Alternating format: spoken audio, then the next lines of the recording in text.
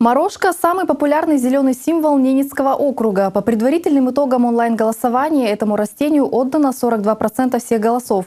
Напомним, Министерство природных ресурсов совместно с Фондом «Природа» организовали всероссийскую акцию «Зеленая аллея». Каждый регион выбирает свой зеленый символ, который будет представлен на аллее России в Севастополе.